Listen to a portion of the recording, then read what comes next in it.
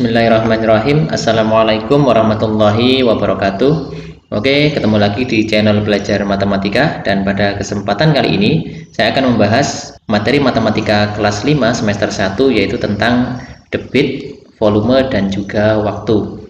Debit itu apa? Jadi debit itu adalah volume zat cair yang dialirkan setiap satu satuan waktu saya tulis zat cair di sini karena mungkin bisa minyak, bisa air, bisa bensin, bisa solar dan lain-lain. Intinya kita akan membahas tentang kecepatan e, mengalirnya suatu zat cair.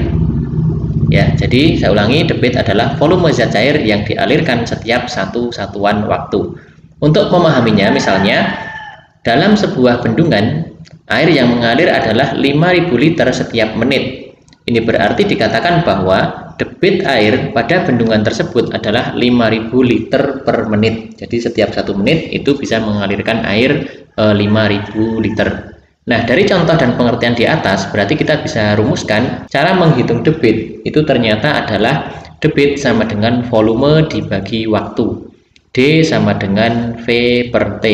Seperti pada bab kecepatan jarak dan waktu kita menggunakan segitiga untuk mengingat. Ini juga sama kita buat segitiga seperti ini yang mana untuk menentukan D itu kita bisa bagi antara V dibagi T.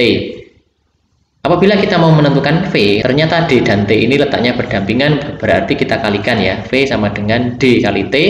Dan terakhir kalau kita mau menentukan T itu V dan D letaknya atas bawah berarti V dibagi D seperti ini ya. Jadi T sama dengan V per D Ya, tentu saja keterangannya D itu adalah debit, V adalah volume, dan T adalah time atau waktu. Oke, agar lebih jelas kita menggunakan contoh soal. Yang pertama, untuk mengisi bak mandi yang berkapasitas 120 liter dilakukan dengan mengalirkan air kran selama 40 menit. Berapakah debit air kran tersebut? Oke ya, jadi kita selesaikan. Dalam soal kita sudah mendapatkan informasi bahwa kapasitas atau volumenya adalah 120 liter. Kita tulis V sama dengan 120 liter, sedangkan waktunya T sama dengan 40 menit. Sedangkan yang ditanyakan adalah debit. Debit itu apa? Debit adalah volume dibagi waktu.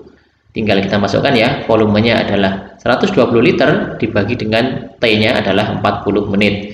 Kalau kita bagi menjadi 3 liter per menit 120 dibagi 40 itu hasilnya 3 Sedangkan liter dibagi menit hasilnya liter per menit. Jadi debit air kran tersebut adalah 3 liter per menit. Oke semoga bisa dipahami ya.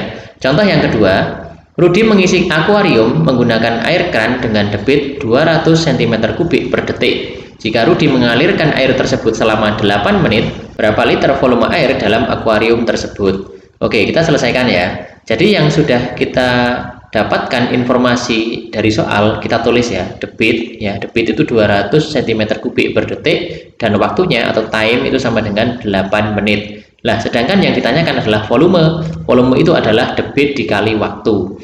Tapi dalam hal ini kita tidak bisa langsung mengalihkan antara debit dengan waktu karena pertanyaannya di sini adalah berapa liter. Sementara debit ini masih dalam satuan 200 cm kubik per detik. Sehingga 200 cm kubik per detik ini kita ubah menjadi liter per menit terlebih dahulu. 200 cm kubik per detik artinya setiap satu detik air yang mengalir 200 cm kubik. Kalau satu menit kalau satu menit berarti tinggal dikalikan 60 sehingga sama dengan 200 kali 60 cm kubik per menit. 200 kali 60 itu hasilnya adalah 12.000 ya sehingga menjadi 12.000 cm kubik per menit atau karena yang diminta dalam liter maka cm kubik ini kita jadikan liter kita bagi 1000 ya hasilnya adalah 12 liter per menit. Jadi kita sudah tahu bahwa debitnya itu adalah 12 liter per menit. Sekarang kita bisa menjawab volume Volume adalah debit dikali waktu, sama dengan 12 liter per menit dikali 8 menit. Hasilnya adalah 96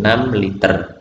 Jadi, volume air dalam akuarium tersebut adalah 96 liter. Oke ya, demikian semoga bisa dimengerti. Jika masih terlalu cepat video ini bisa diputar ulang ataupun ditanyakan di kolom komentar. Jangan lupa untuk selalu dukung channel pembelajaran ini dengan cara klik like, comment, share, dan juga subscribe agar nantinya channel ini bisa lebih berkembang lagi dan bermanfaat bagi banyak orang. Terima kasih sudah menyaksikan, sampai ketemu lagi di video berikutnya. Tetap semangat. Assalamualaikum warahmatullahi wabarakatuh.